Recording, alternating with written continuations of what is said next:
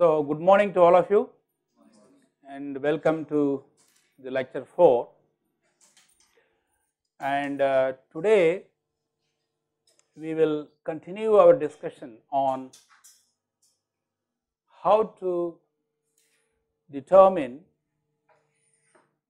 the corrosion rate of a metal. So, to say what are the governing equations that can be used to compute the corrosion rate. Before we proceed on this, uh, a brief recapitulation of what we discussed in the previous class will be in order. And um, towards the uh, you know the end of the class we saw that how to predict if a metal will undergo corrosion in a given environment that we saw that right? And we also saw that if the metal is under equilibrium it is not going to corrode. It will corrode only when it is deviating from the equilibrium condition. Suppose i immerse let us say iron in hydrochloric acid, you know what are the reactions, right? The corrosion will occur by the oxidation of iron into a ferrous chloride and the H plus ions in the solution will get reduced to hydrogen gas evolution. These two uh, equations you know one is an oxidation other is reduction process. So, before we looking at the, the governing equation for the oxidation of the iron and the oxidation of uh, iron or similar metals and the reduction of the reducing species like H plus or metal ions anything can happen, we were trying to discuss what an electrochemical equilibrium is if you recollect, we, we said that if I am going to construct an electrochemical equilibrium, let us say if I am going to uh, dip zinc, zinc in zinc ions. Okay zinc ions. We said that there is going to be an equilibrium between the zinc ions in the solution and the metal that is immersed in the solution right? So you define this equilibrium as zinc 2 plus plus 2 electrons gives you zinc here.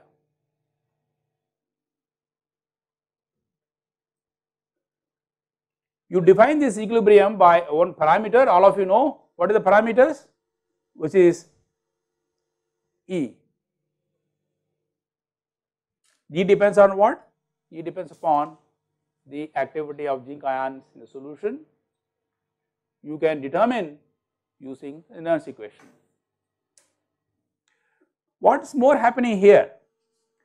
What is happening here is constantly zinc ions are getting formed in the solution by oxidation and that these zinc ions will again go back and get deposited on to the metal surface. And we saw this is under equilibrium condition. For simplicity, we consider that the zinc ions are in the standard state right then what happens to E? E equals to E naught right and this is going to be equal to minus 0.763 volts in the standard state.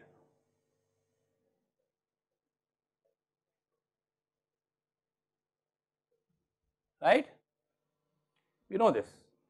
Now we also said that the rate of zinc going as zinc 2 plus plus 2 electron is uh, is equal to zinc 2 plus plus 2 electron to zinc right? Which I would say okay this is the rate of this reaction. This is the oxidation and this is going to be the reduction reaction. So, we say that rate of oxidation is equal to rate of reduction right and you can convert this into current right. How to convert into current? Any of you can recollect R equals to I upon N F and right. Since the rate of forward equal to rate of backward or whatever and this current is termed as termed as exchange current density.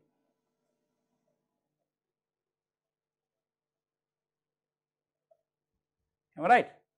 We saw this in the previous class. What is the unit of current density? Amperes per unit area, right? Okay. So, that you know that. Let me go further into this, okay. Let me represent this graphically, right. I am going to make it a little more simpler.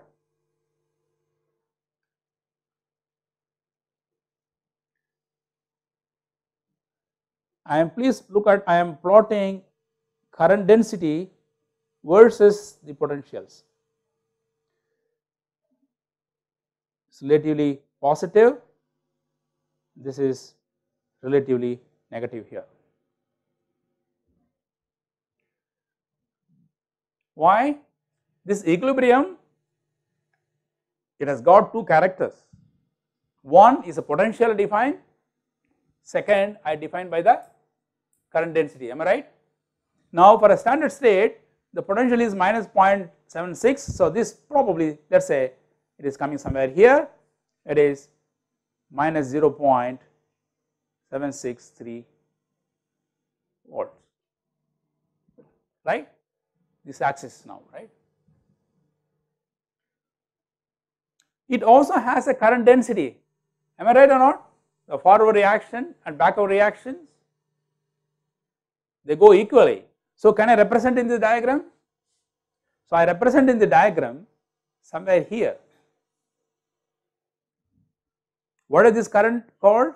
This current density is equal to I naught current density between Z2 plus and Z here. Is correct or not? Right? Agreed?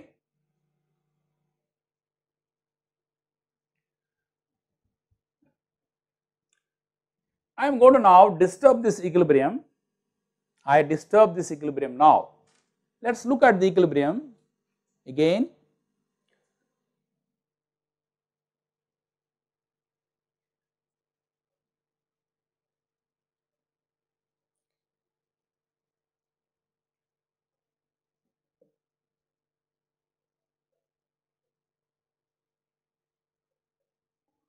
What is the potential of this?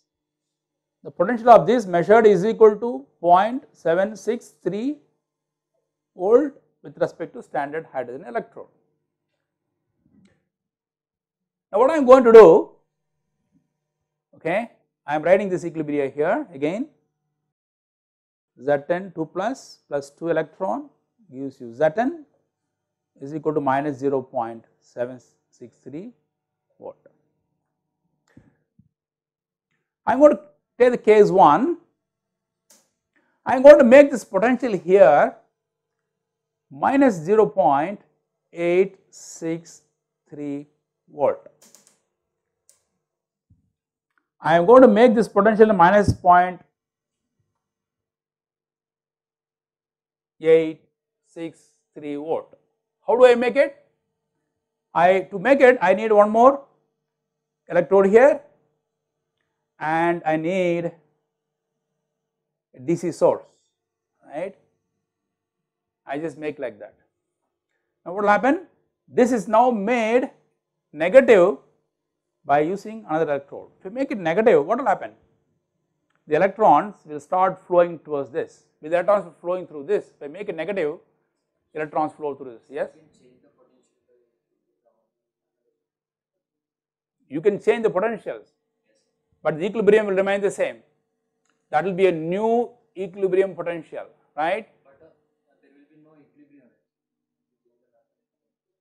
Assume that the concentration of the electrolyte zinc ions from 1 molar it has become let us say uh, 10 power minus 2 molar right you calculate the potential what is the potential called still it is called equilibrium potential right? Is it or not? Correct or not? And use an Nernst equation. Okay? So even there the metal is in equilibrium with the ions but at a different potential is not it? Rate of forward reaction equal to rate of backward reaction. The exchange density may not be the same is not it? The rate of reaction depends upon the activity of the species so the exchange density may not be the same but even at lower concentration when you change the potential right in fact, you do not change the potential, the potential automatically get adjusted that is a new equilibrium potentials. I put other way around for simplicity. I take a beaker, I take zinc ions of 1 molar concentration, I put zinc there, I measure the potential using a standard hydrogen electrode, it is minus 0.63 volt. I pour some water into that. Okay. So, what will happen now? the concentration of zinc ions will decrease. It will establish a new potential. Zinc ions still will have an equilibrium with the zinc metal. The new potential is different. You can calculate using the Nernst equation. So, that is not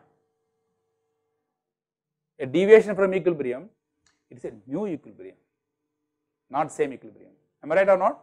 This is different, okay, but it is also an equilibrium. So, standard that is why I said what is the difference between a equilibrium potential and a standard potential?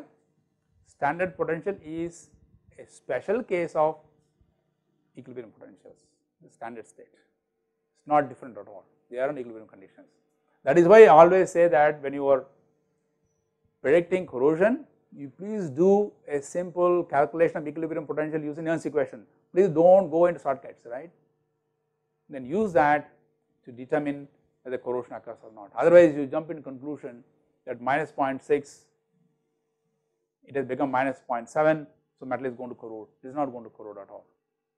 Okay, that is thing you should understand. Equilibrium potential is independent of the concentration of ions, independent of even the activity of metal, metal on the metal.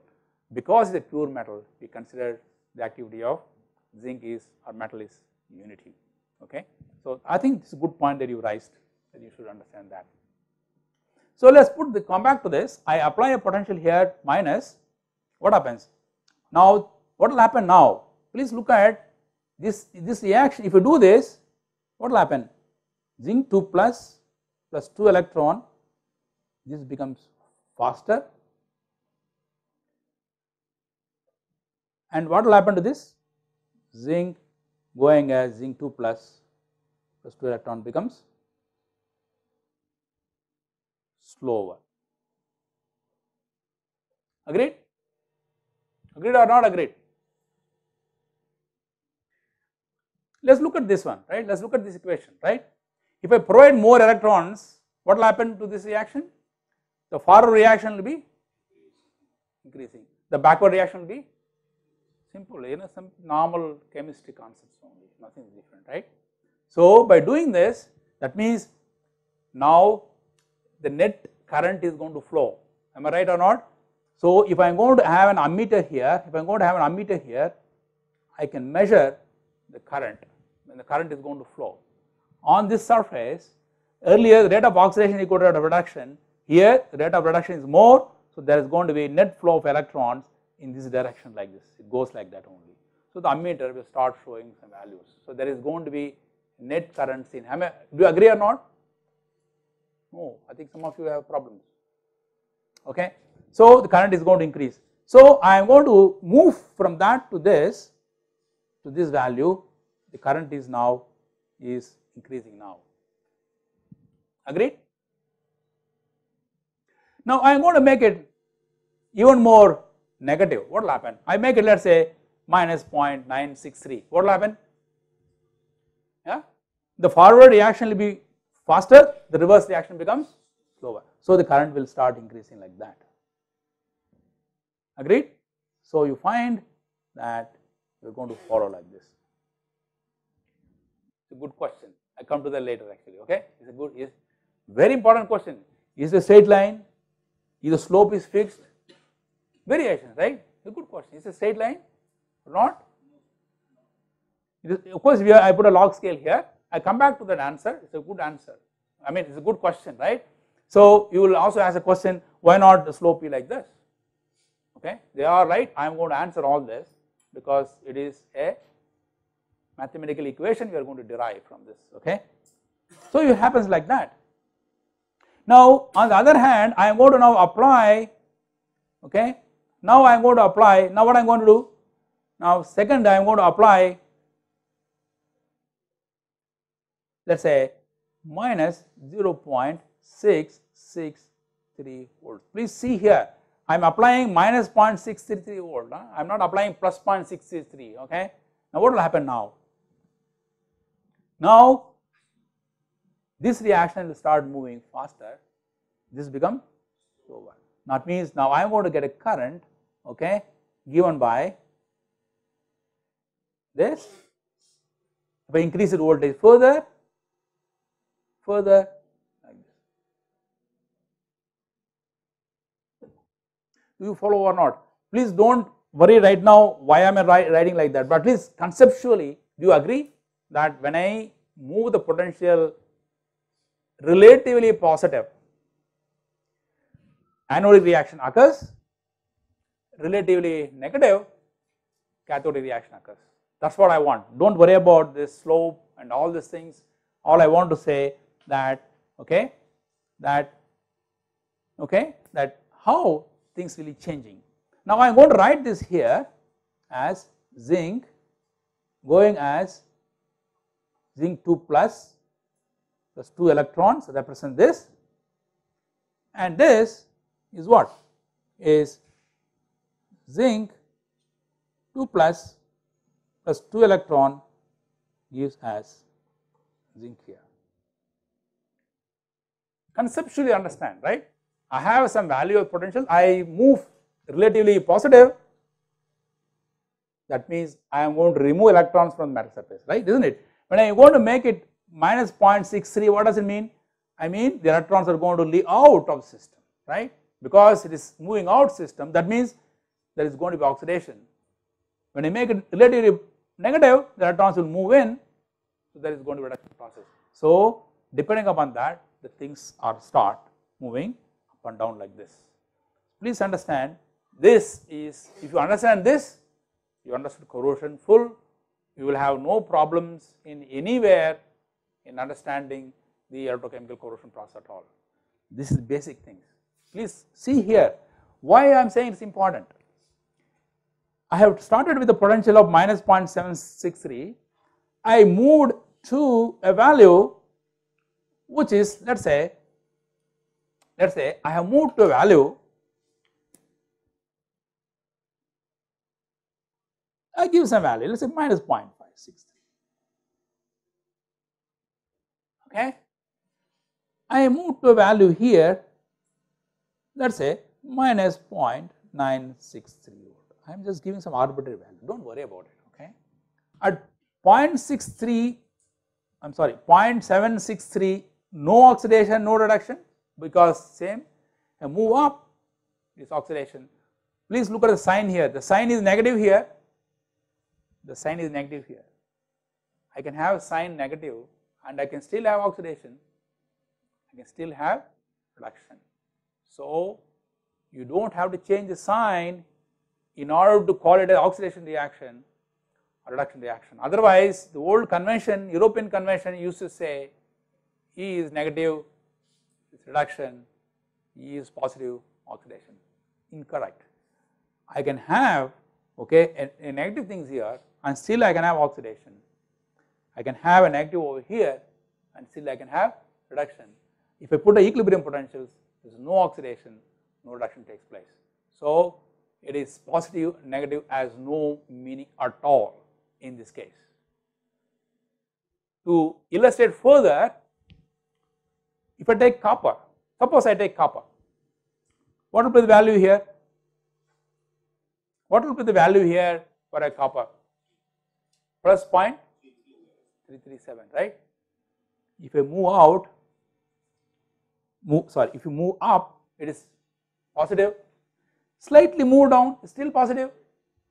I can have oxidation and I can have reduction. This is a important thing. Do not get carried away with the sign and tell there is oxidation, there is reduction process. No, that is totally incorrect to attribute the sign for oxidation and reduction process. E is independent of convention, it is the value that you determine from the from the equations that you get from here. And please notice we said last time it is measurable, just not only calculable, I can measure it. Only thing is I have to measure with respect to a another reference electrode, that is all it is. Okay. You understood this actually any of you have any questions here please yeah. Current, Yeah. uh, the equilibrium, equilibrium will be stabilized again. No, no we call steady state. What is the difference between a steady state and equilibrium?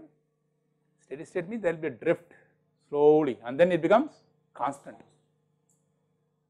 So when you when you change the potential I understand the reaction rate will not jump immediately it will take some time but after some time it reaches a value a steady state value. Current will be flowing around. Yeah. When you say equilibrium, no oxidation, no reduction. Steady state, no, it can be oxidation, can be reduction, but does not change with respect to time. Steady state means it is not changing with respect to time. So, do not confuse between equilibrium state and the steady state, they are totally different at all, okay, they are not the same. Let us continue this, this is the important one, you should continue, we will we'll continue this spending some time on this, okay. Now come back to this, uh, this discussion now. Which one?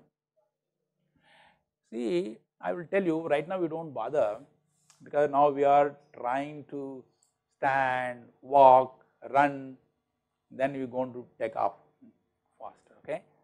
People do calculate transients when you do research for examples, these transients have meaning at all actually, okay. That probably we have time we will talk about it. Transients do have meaning, they are used in understanding the electrochemical interface, but right now we are not going to talk about transients. We are talking about steady state because that is only a state where I can define very well, right? You can define about it, right? Otherwise, transients have a meaning.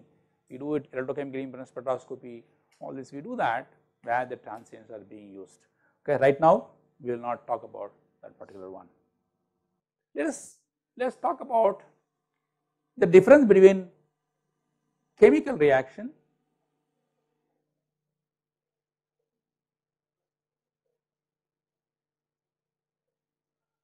and electrochemical reaction.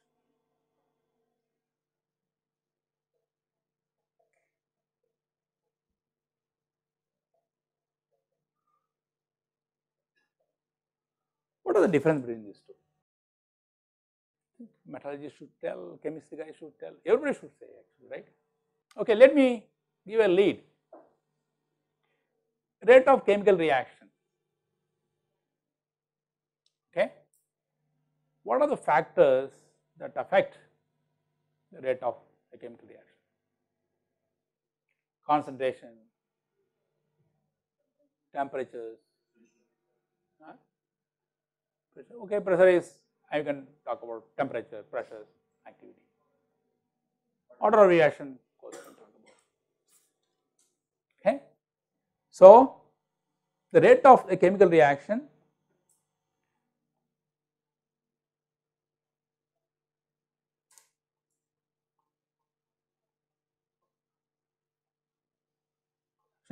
is a function of what? Function of concentration,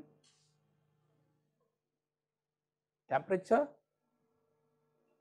pressure, rate equation, right, is what happens, right. The rate equation is what you get to use it, right. Let us look at rate of electrochemical reaction.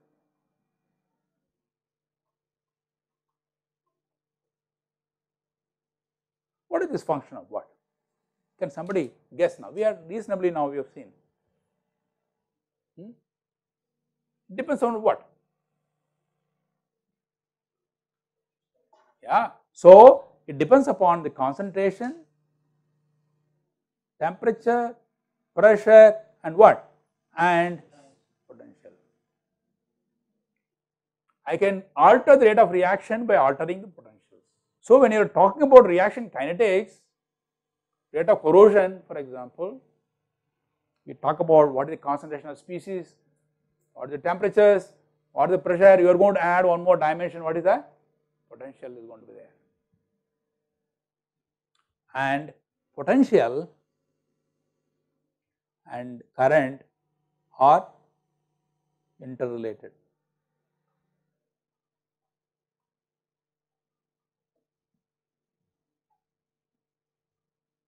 Isn't it? We have seen in the previous the previous uh, thing, right? I'll, I'll show you here, please. The potential and current are interrelated. I have not completed the story here, but I just wanted to tell you that rate of reaction depends upon potential and potential and current are interrelated to each other. Okay, you talked about what happened to the change of concentration that will change. Okay. So, so that is the difference between a chemical reaction and the electrochemical reaction. Let us look at other things, what difference between these two we have.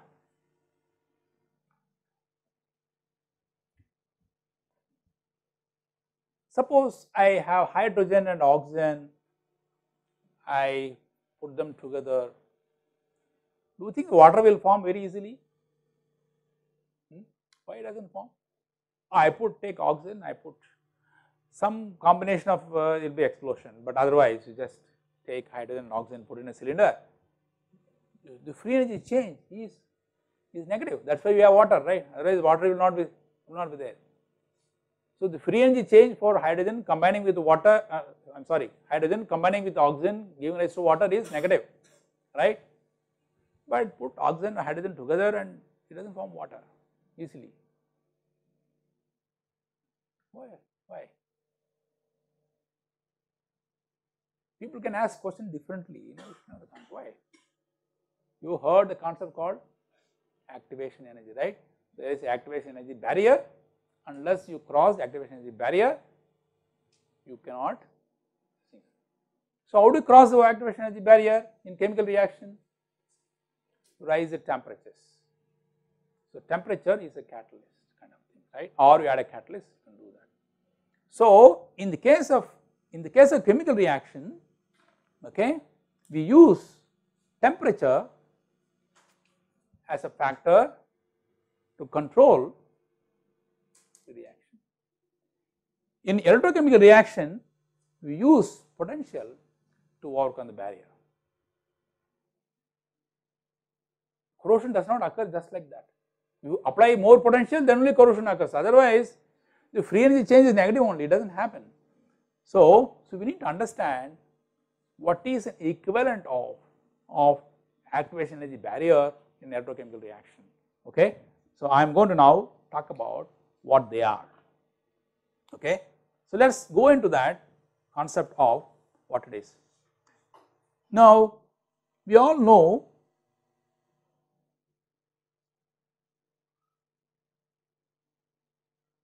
this is I yeah, I call it as a how do you use the term? G E is a potential right? I use this term G maybe I do not know maybe distance.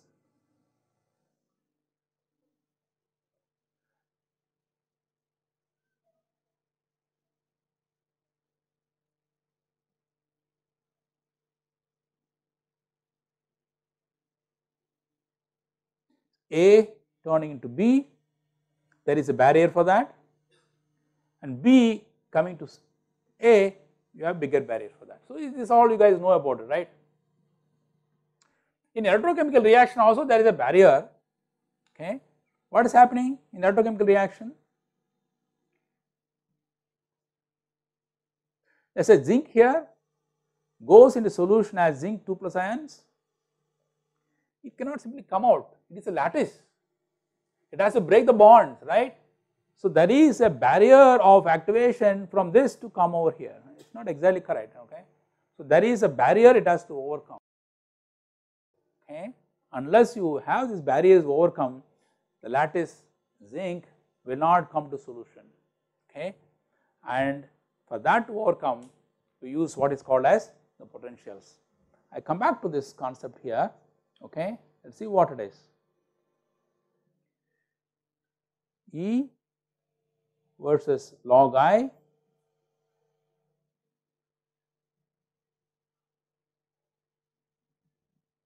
Like this. This is true for most of the electrochemical reaction be it uh, H plus H, zinc, zinc plus, copper 2 plus copper whatever. And this is your oxidation and this is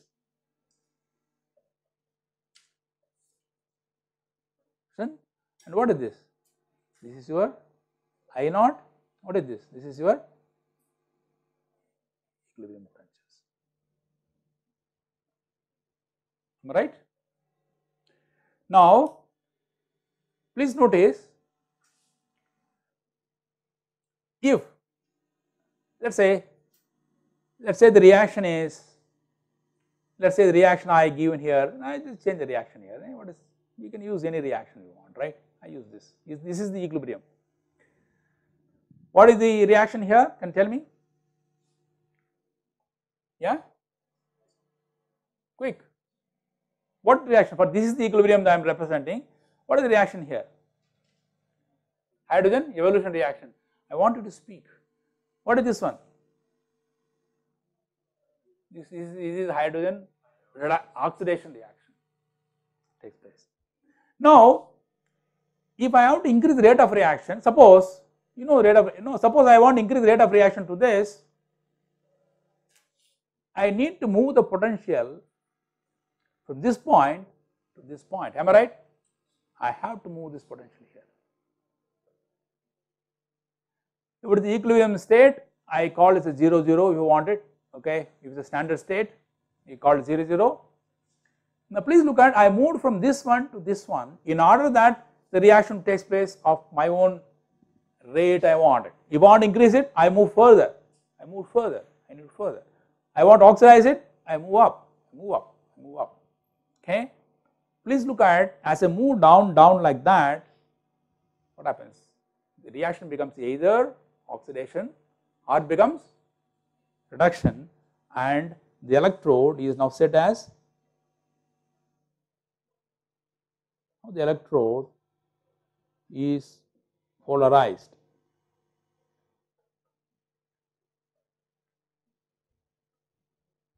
What is mean polarization? Yeah, net. Now earlier it was, just is not having a character at all. It is simply both are forward. Now it is polarized. If I, what means if I move down, it becomes a cathode. If I move up, it becomes a anode. So it's now polarized. So that means the electrode is now polarized. Okay. So and this is called as polarization.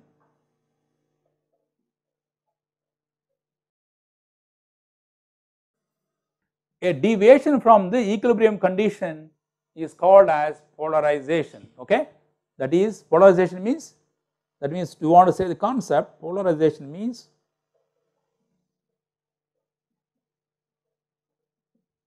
deviation from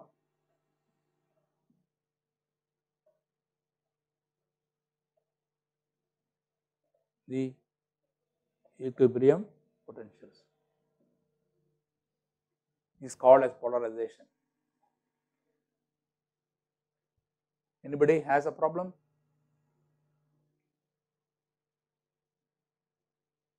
Okay. Let me move further into this diagram, okay, the concept now. Let us move further into this. Let us draw this diagram fresh again.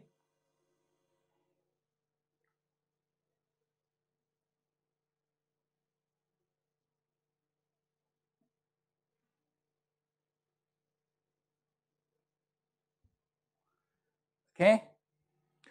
I move to this value and this is called as eta okay? Okay? So eta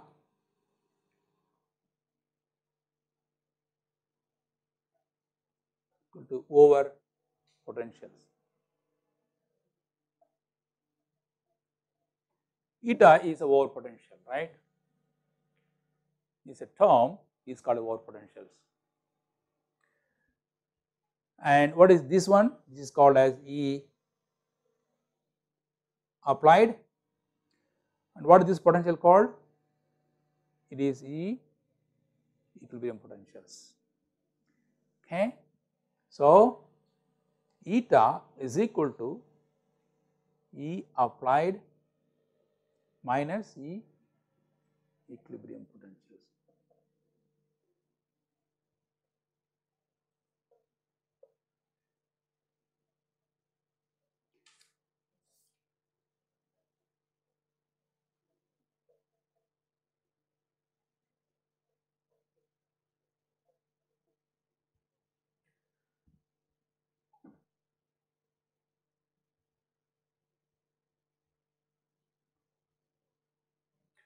Please remember this equation.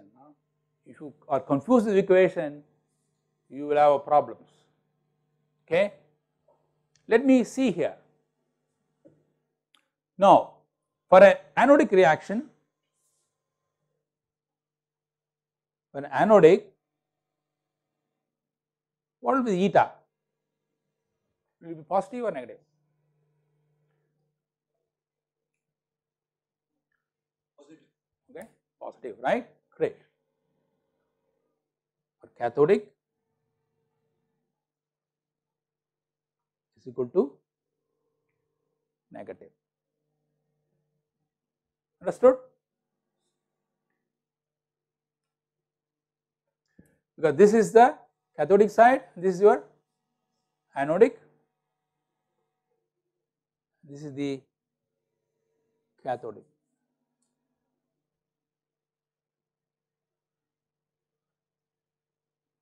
Okay. Now, you will ask question, you have been asking question before, what is this? This is a slope,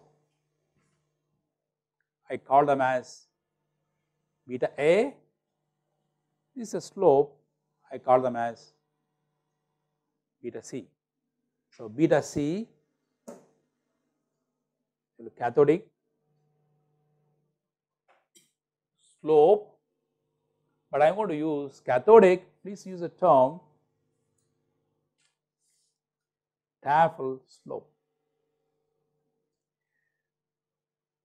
A is equal to anodic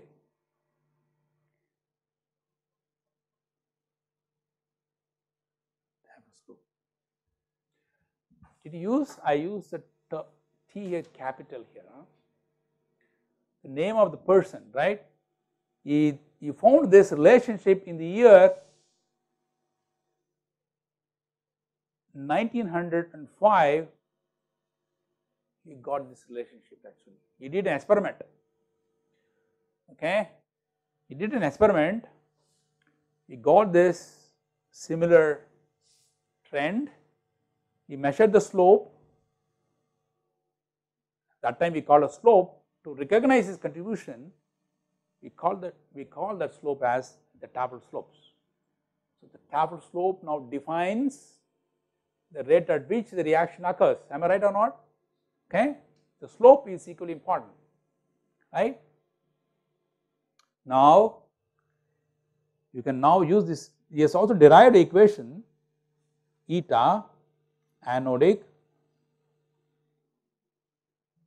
equals to plus eta A logarithm of I upon I naught. Eta cathodic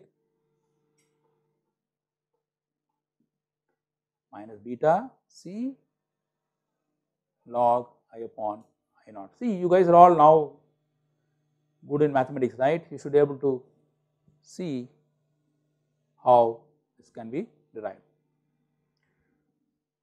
It is a simple linear equation right, nothing more right, because you know this is your I naught right, the Tafel slope you know that right. Now this is the, the difference that you have here, so you define this eta. So I at any given eta, I at any given eta can be given by I naught if I know the Tafel slope of this. These are called as Tafel equations.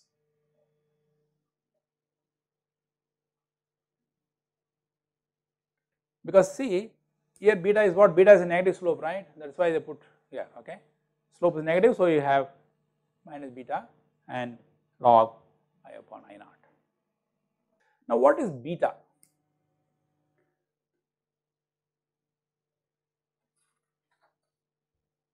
Can I take it out? What is beta? Beta is equal to 2.303 RT by alpha. Um, yeah. N and f. Okay.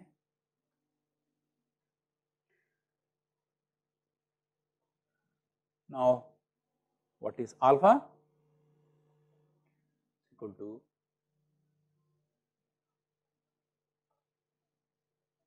transfer coefficient or also called as symmetry coefficient.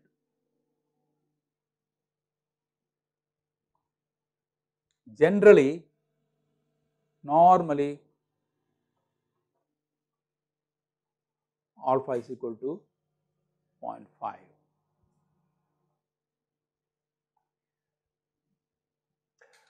I will spend a minute on this, okay. Let us take this.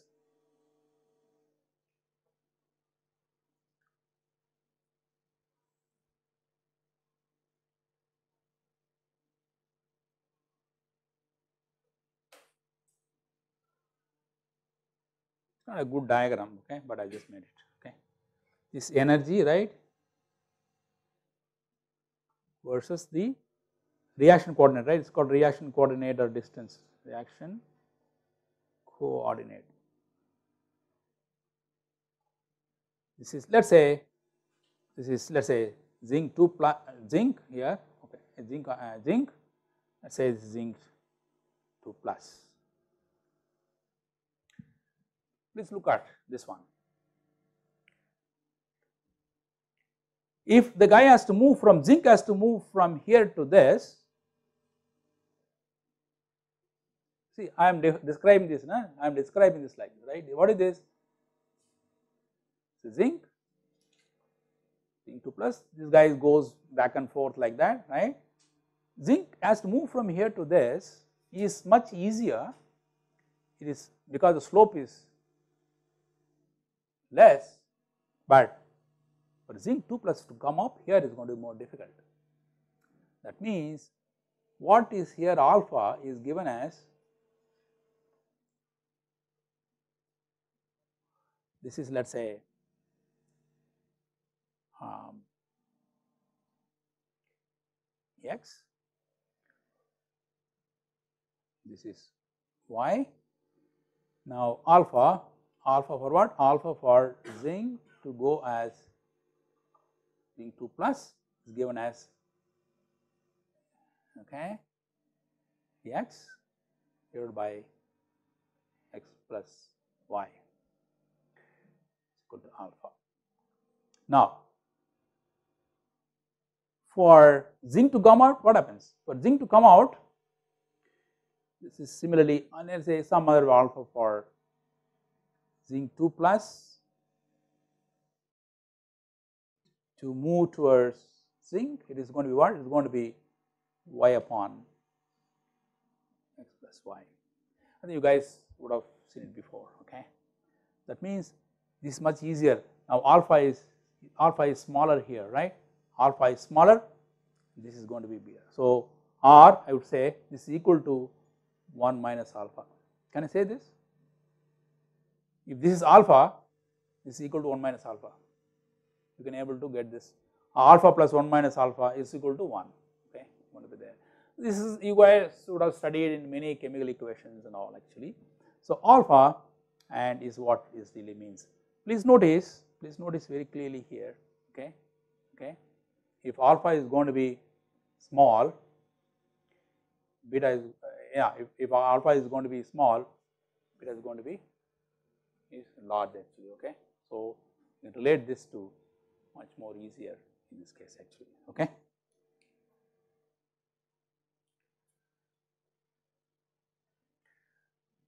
Can I move or you have any questions in this, this case, okay? Okay. Yeah. That is not a characteristic property. Hmm. It is okay. Let us look at what is alpha. Alpha depends upon the hill that moves here. Beta is equal to 2.303 RT by alpha NF. What is N? The number of electrons involved, 2, 3, whatever.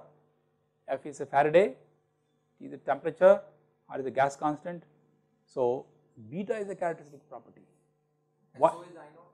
Huh? And so is I naught. I naught. Yeah, I naught also characteristic property, right? Because the guy move, going to move right. Alpha means the guy goes you know left and right, right? So I naught is characteristics of a given system. Okay, it is very important. In fact, you will see later, I naught is going to decide what is the rate of corrosion, more or less.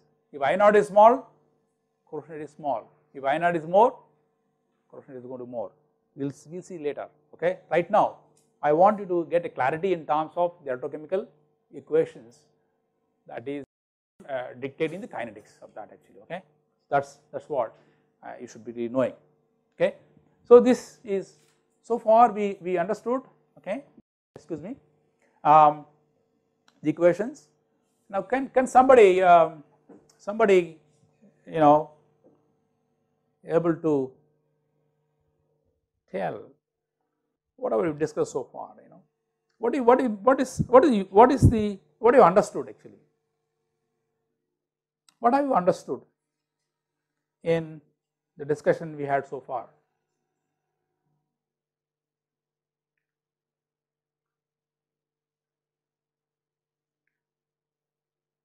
anybody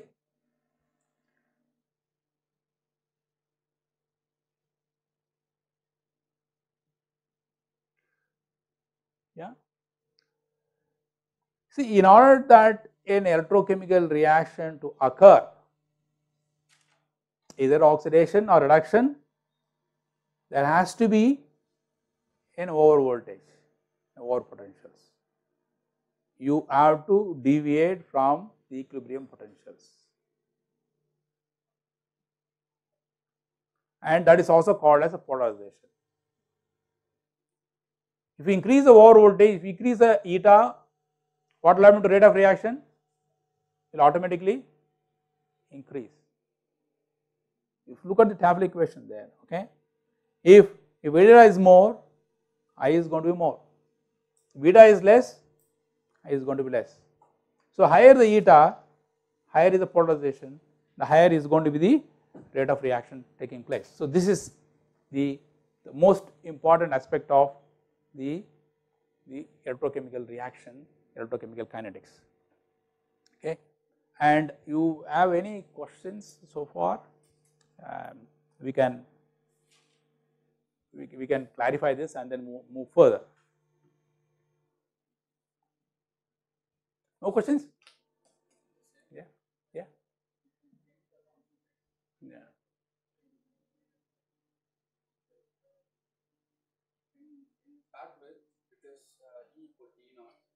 get a by changing the concentration, there is a new uh, there is a new equilibrium potential. Corresponding I naught will be there. Yes. So can we call that I as I naught? Change with respect to the concentration again. How come it is so characteristic? Equilibrium potential is, is a characteristic of the system, right? The equilibrium potential also change when you change the concentration of the species. uh, suppose if we want to record the uh, Tafel experiment, and if you are changing the concentration, that initial I naught will change. You need to have, yeah, you need to have these values. Either you should theoretically calculate or you should experimentally measure the anode values. They are required. Very much the same that equilibrium potential change with change in concentration, the I naught also will change because let us look at this now see the chemical reaction, the electrochemical reaction, there are a lot of commonalities that you have okay. Suppose go back to this, suppose if these are going back and forth right, how do you determine the rate of this reaction? R equal to K into concentration, it is a first order reaction alright. If R is changing, I mean it has to change if the K is changing and C is changing. If R is changing then I is going to change. So the exchange current density will change automatically, but only thing will happen is the exchange current density for forward reaction is equal to backward reaction. That is not going to change. The, di the difference between I and I naught is I naught there is no net oxidation or reduction, but when it is I it is either oxidation or reduction process. Yeah, I naught will change if you change the concentration of species. If you change even temperature, things will change. Okay. So, but all it means it is an equilibrium and no oxidation, no reduction takes place. Okay. So, I am not going to details actually some of you are more interested please go through the book Bockris and Reddy modern electrochemistry all these are given in details but since it is not electrochemistry course I am not talking. So, I am discussing electrochemistry to the extent that you can understand corrosion better. It is no way a comprehensive treatment of electrochemistry, okay, it is not at all, okay. But those who are interested, please read that book or you can read the book Buchanan, right, that is also a good book I referred in the, in, in, the beginning of my, my um, first class and I said what are the books I am referring, you can refer that book as well. But Bockris and Reddy I would call it, it's, it's, it's, it's, it's like a Bible or Gita whatever we can call it, okay, the ultimate in terms of in my view in understanding clarifying your concepts or you can also read by Bard, Bard is another you know big guy in the field of electrochemistry, okay. Now, so let us now look at these things and um, now what I am going to look at here is now what okay. So what you should know? You should know one the equilibrium potential calculations.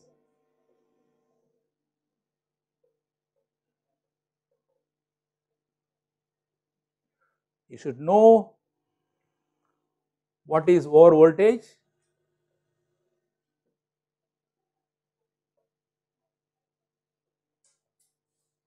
you should know that is E voltage. Now, you should know how eta is related to I. We have not done much so far, we have just only you know made only three concepts clear to us actually, hopefully they are clear. Actually, there is one more. If you are really more keen, I will write the equation here. And those of you um, you want to uh, uh, understand better a better equation to, to, to represent this electrochemical kinetics is I is equal to I naught exponential 1 minus um, alpha eta n f by RT minus exponential minus beta I am sorry minus minus alpha okay, eta n f by RT. What is this? Please look at I, what is I here? I is the net current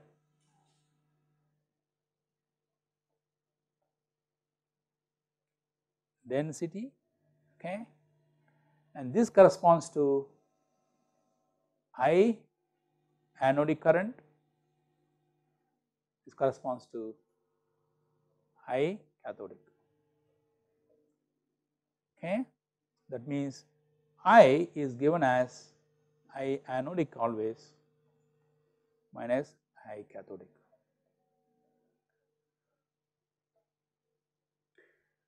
These are uh, the equations we have and this is called as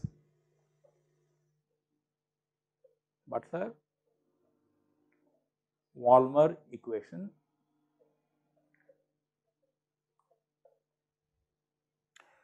And I am not going to discuss this in details, but those of you who are interested can read the book and understand it or if time permits we will discuss this during the somewhere uh, in the middle of the course we will discuss this okay.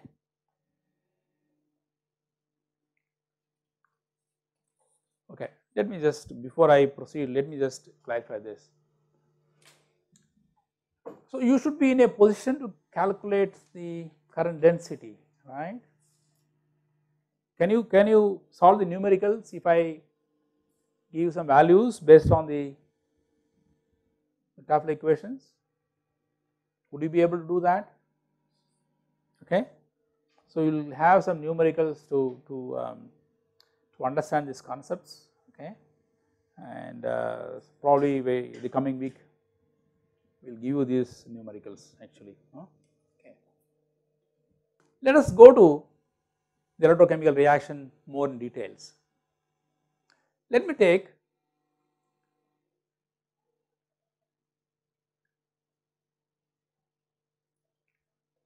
say steel.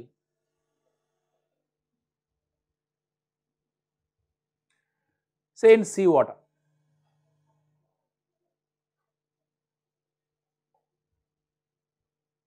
Okay. Steel in sea, sea water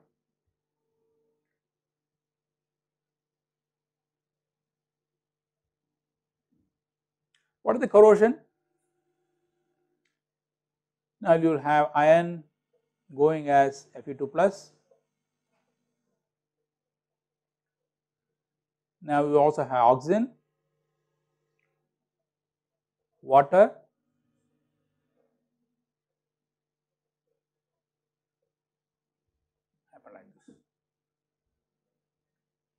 right? Is it clear? Is it is it right? You guys are aware of this equation? Let us write pictorially here. The sea water, it has some oxygen there, dissolved oxygen somewhere, all the places.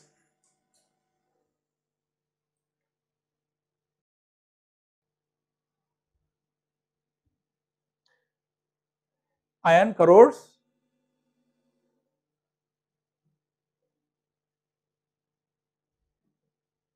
The electrons are liberated here. What will be the cathodic reaction? This is the cathodic reaction, this is cathodic this is the anodic reaction. The anodic reaction occurred, the cathodic reaction to occur, the oxygen has to migrate from here to this place, right or not? Similarly, the iron has to migrate from here outside, has to migrate from here, you cannot just accumulate it there, right? So, what are the reaction here? What are the processes involved here? The process involved here are at the interface there is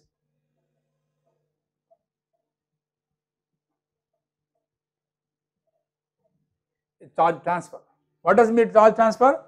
Iron becomes Fe2 plus, strips the 2 electrons out, the oxygen moves here and takes the electrons, it becomes OH minus. So, charge transfer occurs at the interface.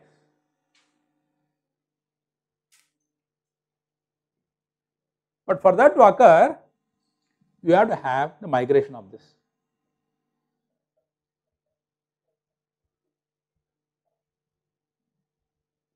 Right? So, to put it simply,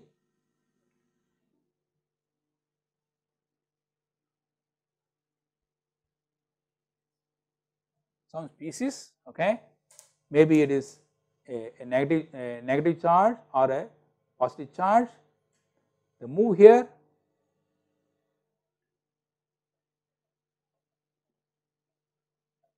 and what happens? Then what happens here? Charge transfer.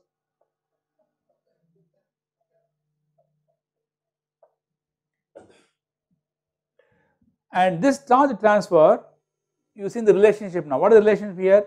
It is the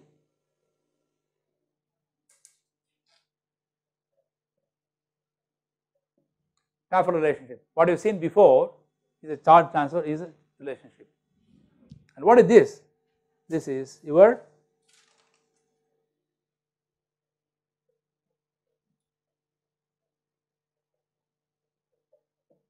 diffusion control.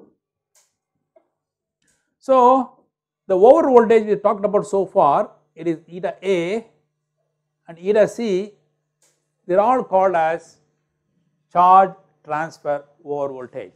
They are called as charge transfer over voltage. Okay, they are called as charge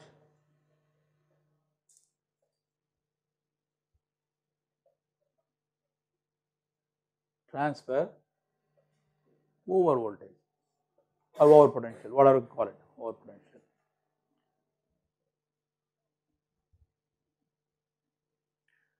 That's that is the potential required for metal to get oxidized or reduced, what happens?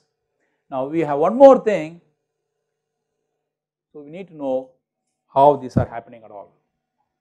If you do this, then you have a complete understanding of electrochemical corrosion process, right?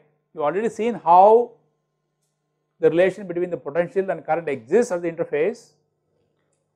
Now we also know that if the ions have to take charge, they have to move from the bulk to the interface.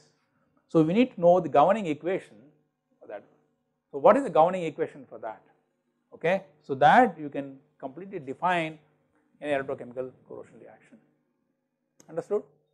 Okay, so we are going to look at this now and see how we can understand that. Yeah. What about cementite phase? Excuse me. What about cementite phase in the? Oh, okay. Um, well, it's a good question. Okay. Right now, we are not talking in terms of microscopic processes on the surface. We are looking at a macroscopic. I gave steel as an example here so that you get an idea about how the steel corrodes in the seawater. Okay. You can take an iron you want, okay. You can take nickel you want actually, okay. The idea of giving here is that the oxygen, you know, I, I gave oxygen here. I didn't put sulfuric acid, okay. I have given you a problem I think I have not given it. I think TS have not given it actually. Okay. So the difference between an acid, seawater containing or exposed to air is that the solubility of oxygen here is what is about 6 ppm to 7 ppm maybe 8 ppm something like that. So, they are not going to be easily available on the surface, they have to migrate from here. The corrosion now depends upon what? Depends on not this, it depends upon how quickly the oxygen ion, oxygen molecule migrate to the interface. If they do not migrate, then the reaction will not occur. These equations of no use. So, I am talking in reference to why you should care this one. Please look at this, this is in series, please look at this in series, right? This moves like this. If this is faster and this is slower, the rate determining reaction is going to be this, right? If this is the slowest, the fastest, this is not going to control, this is going to control. I mean, I do not know how I am jumping at all, okay. This would be easier for you, it's, it's a series process, right. If assume that transport is much slower, I apply more over voltage, right, I apply more over voltage. Let us go to this, us go to this reaction, okay. I apply more voltage, the current is increasing, right, increasing. But current will increase only when if the species are available for reaction. If they are not available, what happens? You only increase the voltage, nothing happens, right. So, this current will increase only when your species to accept electrons or release electrons, if they are not there. So, that means you have a transport process and then it is getting accepted here, right. So, it is a coupled reaction. The transport is an integral part of electrochemical process for any chemical processes also you know there is a transport happening at all. So, I did not use sulfuric, sulfuric acid because sulfuric acid the concentration of H plus ions are huge, H plus move very fast, you never have diffusion control process, but oxygen is less soluble and so in this case the transport becomes very important. We will see this later when you talk about corrosion of steel in seawater how important these equations are. These equations are very important when you talk about corrosion of steel in seawater, corrosion of stainless steel in seawater, they are very important. Why? Because that is governed by this transport process. That is why we are now trying to understand the equation governing the, the transport of ions in the solution at all. Okay. Am I making the point clear to you? Okay. So, we look at this now. Now, let us go into the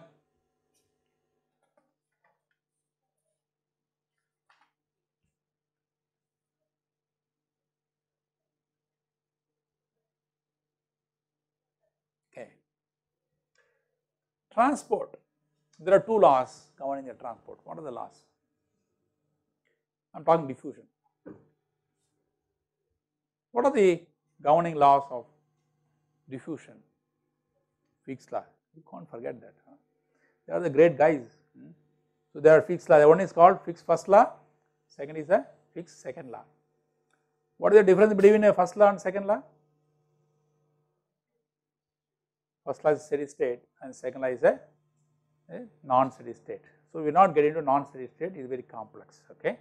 So, they are useful when you are going to do research, electrochemically you solve that also, but I am not going to use this in the class. So, the so the diffusion processes starts with the Fick's, Fick's law, you can't start from that. What is the Fick's law it says? Fick's law says J is equals to minus D dc upon dx.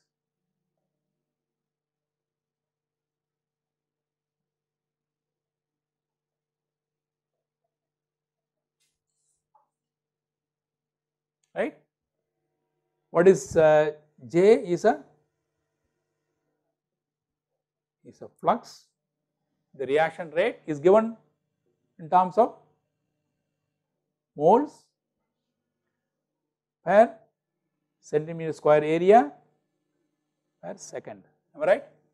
Reaction rate, all of you guys will be knowing. What is D?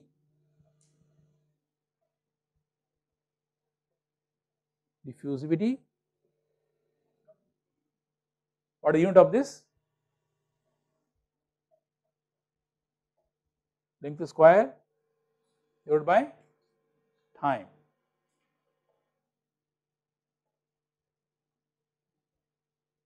Isn't it? Okay. What is DC? Concentration difference. Dx is what? Is the between two points, right? Okay, between the two points where the diffusion occurs.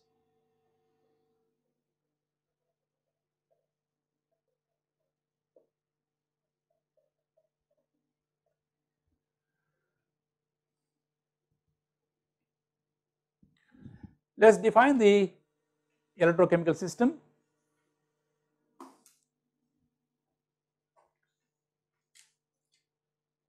Okay.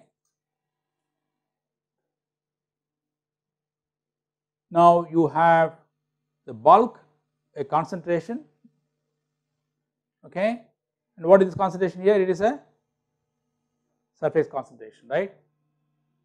This is a bulk concentration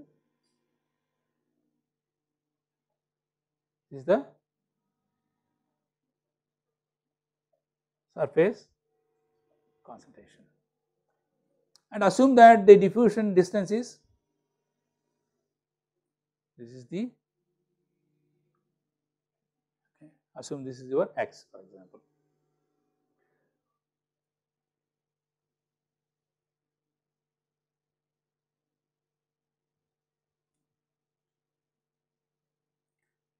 Okay. So, what do you have here?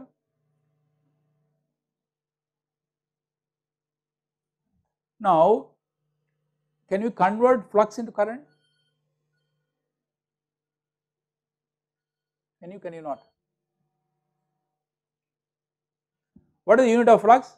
Moles centimeter per second. How do you convert this? No? J is equal to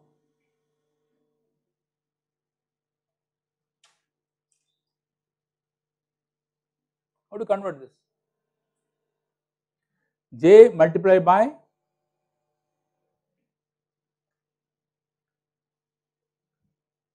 can you?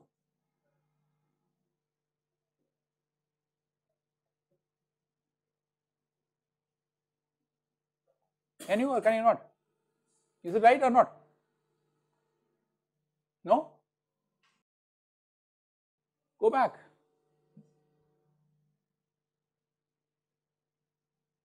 So, what happens? I is equal to minus d dc upon dx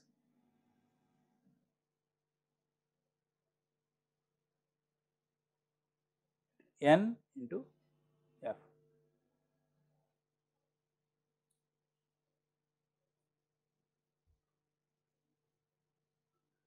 Is it, is it difficult equation or easy equation? See, if you know the number of moles, can you not convert that into, see, this number of moles per centimeter square per second is a rate, no? It is a rate, right? It is a rate of reaction. So, you, how do you convert that into current? Does anybody recollect? Hmm?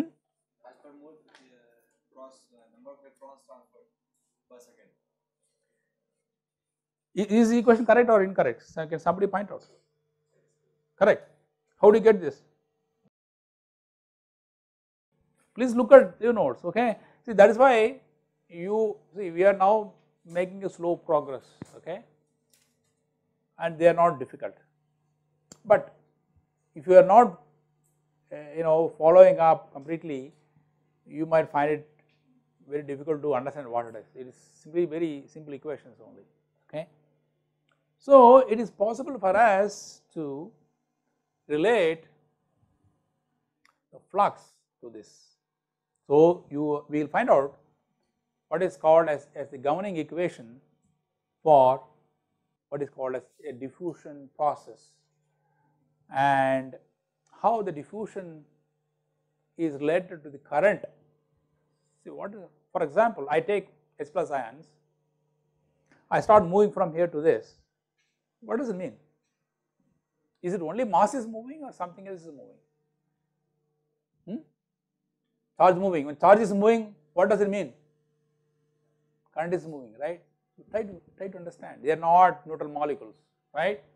So, if these ions are moving, they are carrying the charges and so the current is going to flow accordingly depends upon what direction the ions are moving and which ions are moving positive or negative right. So, the flux is related to current okay. So far flux was related to what in terms of moles and all this now we are going to relate the flux to current. Why I am interested? Because I need to know what is the diffusion rate of oxygen to find out the corrosion rate otherwise I do not know okay. How do I calculate this? So, I need so I am really worried or I am bothered I would say that I need to know what happens to the corrosion of steel in, in water having 5 ppm oxygen there or 100 ppm for example. If the diffusion coefficient of species changes what happens? Corrosion rate is going to change.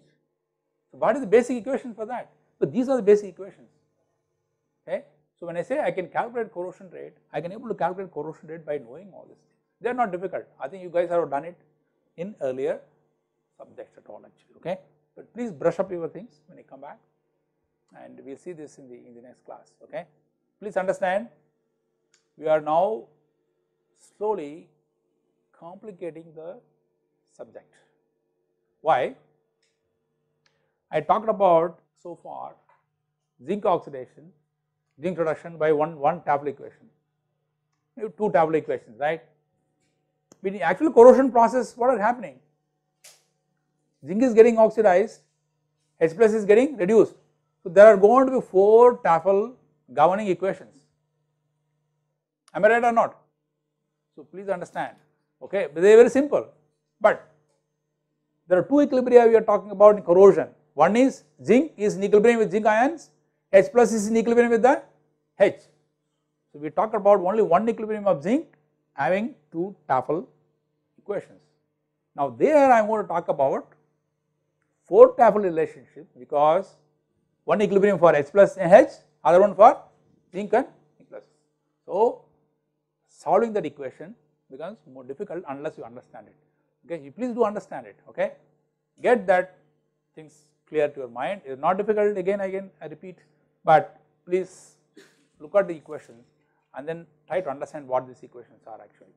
Okay, so I mean, like solving any mathematical problem, but you should know the physics behind these governing equations at all. Okay, so please come prepared uh, for the next class. Next class, I can assure you, is going to be more complex, more complex and more more complex. Okay, but they have a very common, simpler understanding of the electrochemical concepts. That I can say. Okay, so that is not difficult, but complex. Okay, so please um, um, come prepared for the next class. I will, uh, I will really appreciate that. So we will close uh, today's discussion just introducing the relation between diffusion and the current. Okay, and Friday we will meet again and finish first part of the electrochemical concepts required for corrosion rate determinations. Okay, thank you.